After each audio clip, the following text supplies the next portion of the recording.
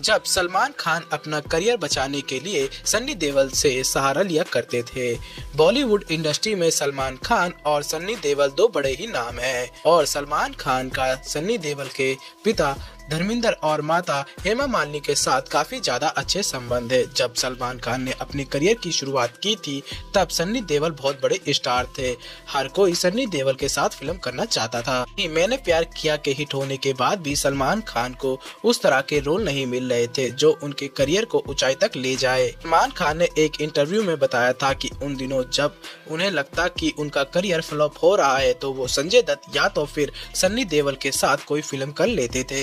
इससे सलमान खान के खाते में एक और हिट फ़िल्म आ जाती थी। सन्नी देवल के साथ उनकी जी सुपर हिट हुई थी। जीत ने सलमान खान के डूबते करियर को बचाने में काफ़ी मदद की थी।